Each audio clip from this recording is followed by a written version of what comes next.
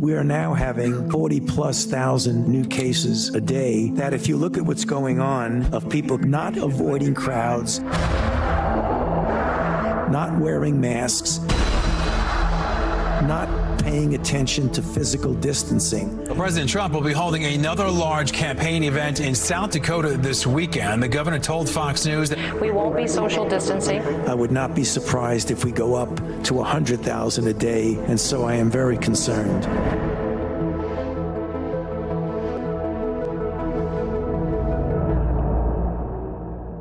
Who would be who would Wow. be stupid enough to, to brag about not socially distancing? I don't know. Who would be that stupid? Apparently, That's unbelievable.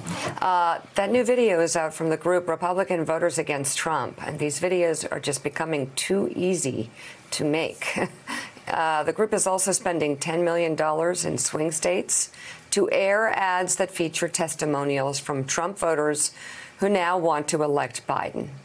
Joining us now, one of the strategists behind the group, editor at large of the conservative website, The Bulwark, Bill Kristol. Also with us, Democratic strategist and co host of the 2020 Political War Room po- podcast, James Carville. Good to have you both. Um, Beautiful kitchen, James. So I'll start with Bill Kristol, though. Uh, Bill, the ads. I mean, Trump writes them, and his followers who don't want to do basic science and keep Americans safe, they write these ads too. Yeah, but I think the key thing is to get some people who supported him in 2016, obviously, or who stayed home in 2016, to not support him this time. And I think it's, what we've tried to do is get regular voters to send in their little their testimonials about why they're not doing it. They do. There's a lot of research showing that voters respond more to people like themselves. Uh, explaining why they've changed their mind than people like me screaming and yelling at them that they were wrong all along. We need to give people permission to change their mind, and that's been our effort of Republican voters against Trump, and, and I think we've had some success. If you look at the polls, there's clearly some movement among uh, Republican-leaning independents and even some skeptical Republicans away from Trump. Uh, but you know, on your discussion earlier, if I can just take one minute on that, which was so interesting about it, it, Trump's likely, very likely, going to lose if we have free and fair election in which everyone can vote safely and securely. But that's not so obvious. Mitch McConnell's holding up the federal funding to help people vote by mail.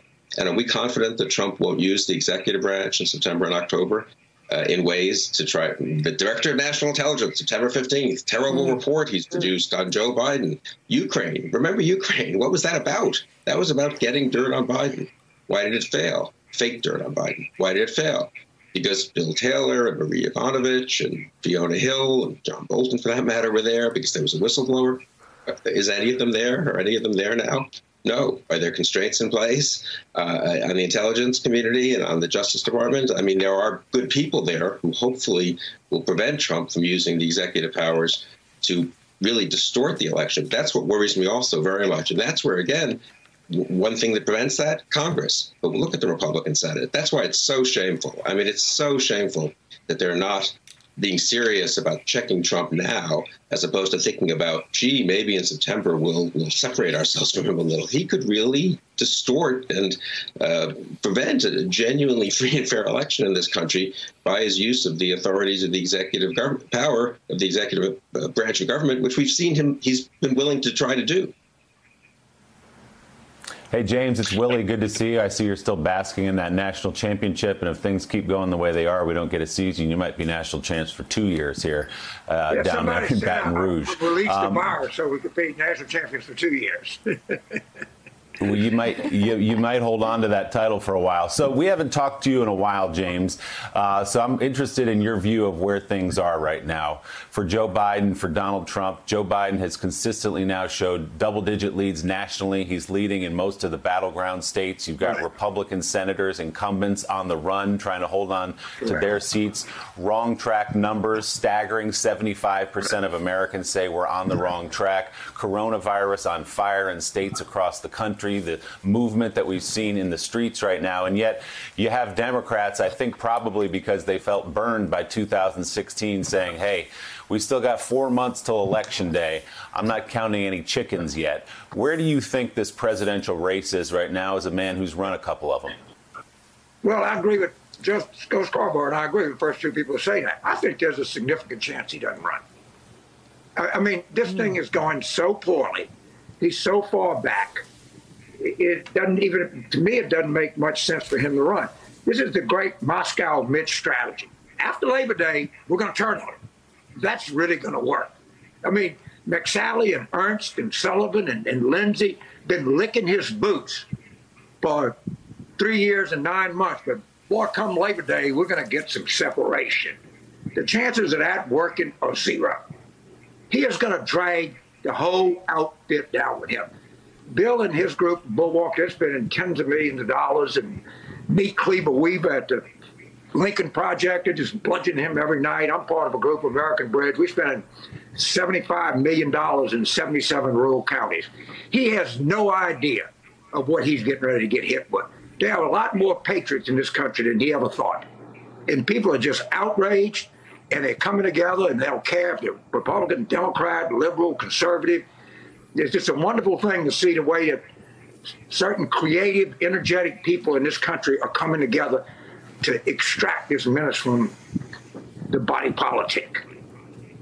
We got John Heilemann with us, and he's got a question. John.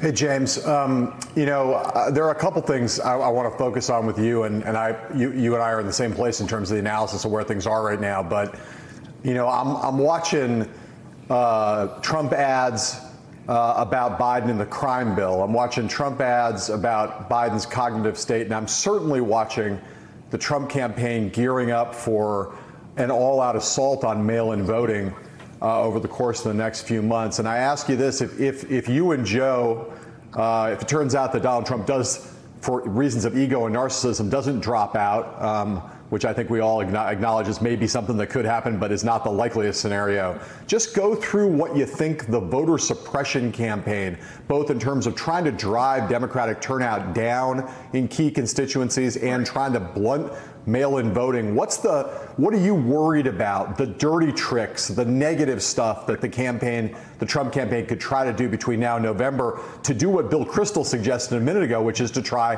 to basically pervert this election and make it not a free and fair election. Let's take one state, Georgia, the state of my birth. All right? Worked on campaigns there.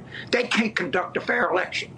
You know what, what Georgia has? They have a lot of corporations and, so, and they got lobbyists. You go to the Georgia legislature, the Coca-Cola people, the Delta Airlines people, the UPS, God knows what. Somebody needs to say, you know, you corporate people, get down there and tell that Secretary of State that we want the, our employees' vote to be counted. And you know, I, I, I, like Coke, but I can drink Pepsi. I can fly on American Airlines. The, the, the entire structure of the state of Georgia is designed to stop people from voting. And the only people that are going to change this are these big companies, these universities. You know, people can go to all, you know, these five star recruits, they can go to Auburn. We'll be glad to go there. And Coach Orgeron, Coach Saban, they'd be glad to go there and pick your pocket.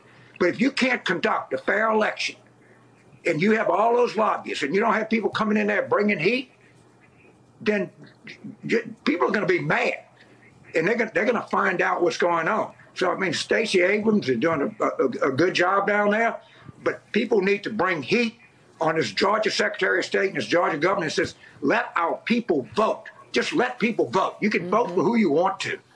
Where are these companies? Where's the uh, Georgia Power? I mean, I, they got a plot of the whole deal. I got that Lake Burton. You better get up. Somebody better get on the stick in that state and just tell these people we want to let people vote. This idea of having two voting machines for every thousand people voting in DeKalb and having 200 voting machines for every 500 people in Northwest Georgia. They got to stop this, and they got to stop it now. Mm-hmm. Get on the stick, Georgia. Move. Well, uh, and Mike Barnicle, uh, certainly watching the patterns of President Trump's behavior and his indignation as to how he's being treated every day, it does make you wonder if everything is being done to shore up the elections.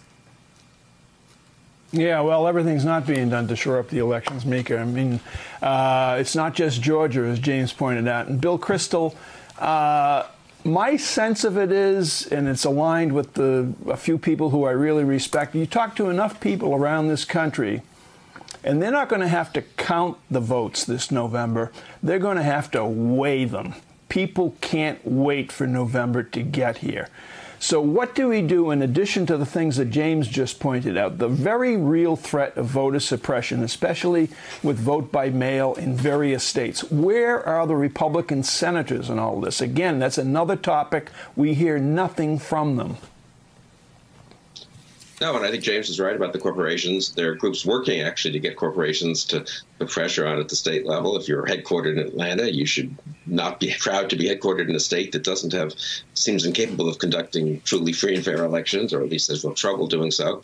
Um, and you should call Mitch McConnell if you're a big donor to the Republican Party and say, hey, look, we support you on taxes and all these other things, but you've got to help the states run a real election that doesn't call into question democratic legitimacy in November. But I do worry about uh, about what the Trump administration can do.